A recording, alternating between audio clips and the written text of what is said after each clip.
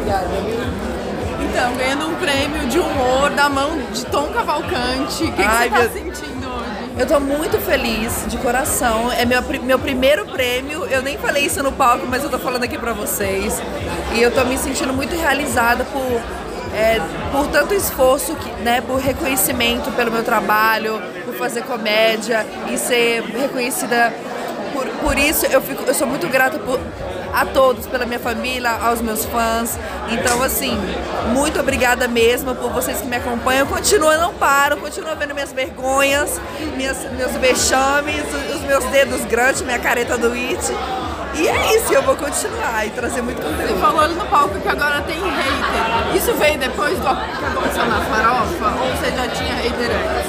Eu já tinha hate por as pessoas não gostarem do meu conteúdo. Ah, achar eu sem graça, tudo bem.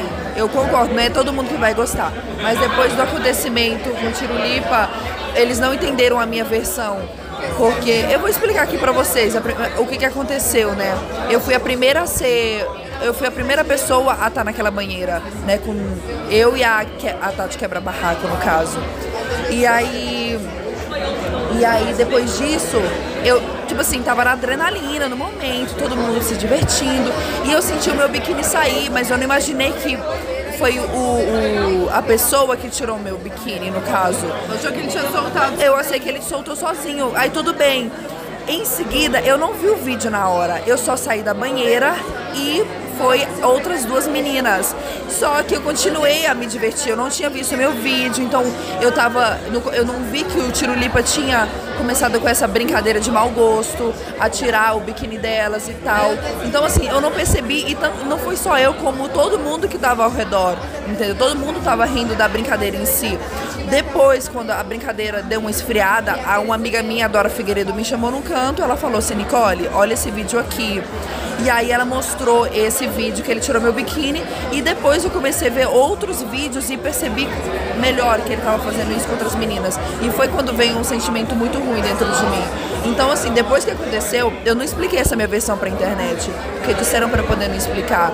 Mas eu sofri muito hate, inclusive hoje pessoas se lançando palavras de ódio, é, palavras horríveis, horríveis, horríveis, ofensivas. Então, assim, tá sendo um momento bem delicado pra mim no momento. Você teve a oportunidade de conversar com o Tirulipa depois do que aconteceu? Ainda não. Ainda não. Mas você gostaria de falar com ele? Gostaria, Você gostaria. perdoa pelo que ele fez? Ele chegou a pedir na internet, meio que público geral, não diretamente. Sim, ainda não, não pedi diretamente. Mas eu sou uma pessoa, eu nunca fui de levar rancor no meu coração.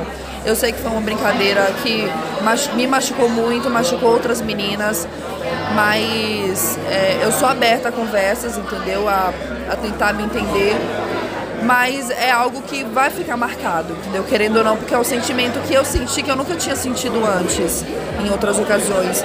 Então, assim, e a minha situação foi um pouco a menos, eu, eu não tô diminu me diminuindo, mas foi um pouco a menos do que das outras meninas, que foi um pouco mais pesada a situação.